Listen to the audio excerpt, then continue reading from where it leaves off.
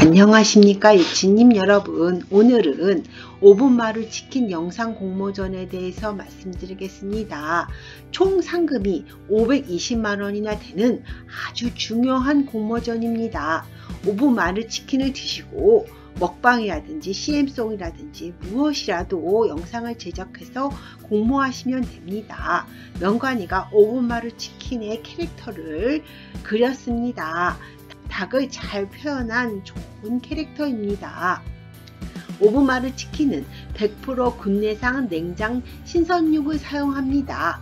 푸짐한 구호닭이고 오븐에 구워서 트랜스 지방의 걱정이 없는 건강한 닭입니다.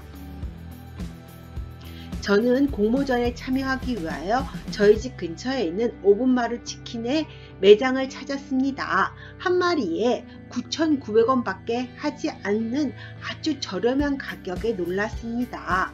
신메뉴로 찐 차장 치킨도 발매하고 있는 광고를 보여드리고 있습니다.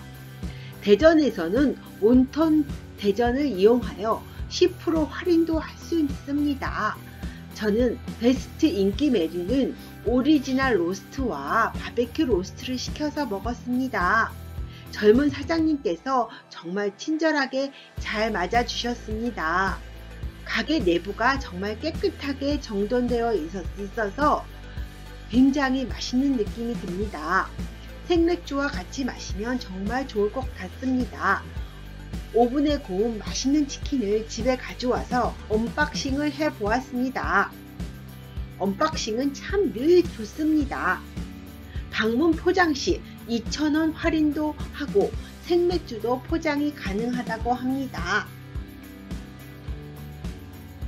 떡볶이도 치킨과 함께 주문 시에는 2,000원 할인을 해준다고 합니다. 치킨무도 정말 맛있었습니다. Unboxing을 해보겠습니다. 치킨에 떡볶이도 같이 있어서 떡, 떡을 먹는 재미도 정말 좋았습니다. 명간이가 정말 맛있게 먹으면서 다음에도 또 사먹자고 합니다. 여러분들도 치킨을 드시고 영상을 같이 공모해 주시면 감사하겠습니다.